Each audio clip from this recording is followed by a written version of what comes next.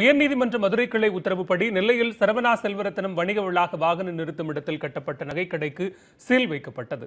நெல்லையைச் சேர்ந்த சரத் இனிகோ என்பவர் உயர்நீதிமன்ற மதுரை கிளையில் பொதுநல மனு ஒன்றை தாக்கல் செய்தார். அதில் நெல்லை மேலப்பாளையம் பகுதியில் முறையான அனுமதி பெறாமல் சரவணா செல்வரத்தனம் அடுக்குமாடி கட்டடம் கட்டப்பட்டுள்ளதாகவும் நிரந்தர மின் வசதி கழிவுநீர் வெளியேற்றும் வசதியின்றி கட்டடம் முழுமையாக கட்டி முடிப்பதற்குள் திறக்கப்பட்டதாகவும் கூறியுள்ளார்.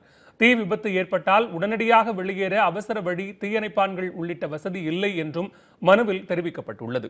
இதேபோன்று வாகன நிறுத்துமிடத்திற்கு அனுமதி பெற்று அந்த இடத்தில் நகைக்கடை அமைக்கப்பட்டிருப்பதாகவும் இதனால் வாடிக்கையாளர்களின் வாகனங்கள் சாலையோரம் நிறுத்தப்பட்டு போக்குவரத்திற்கு இடையூறு ஏற்படுவதாகவும் மனுதாரர் தெரிவித்திருந்தார். இந்த வழக்கு நீதிபதிகள் சசிதரன் சுவாமிநாதன் அமர்வு முன்பு விசாரணைக்கு வந்தது.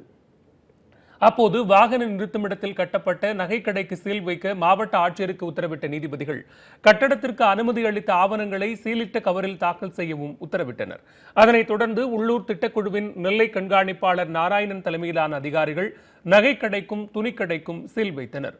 வணிக வளாகத்தின் மற்ற தளங்களில் வழக்கம் போல் வியாபாரம் நடைபெற்று வருகிறது.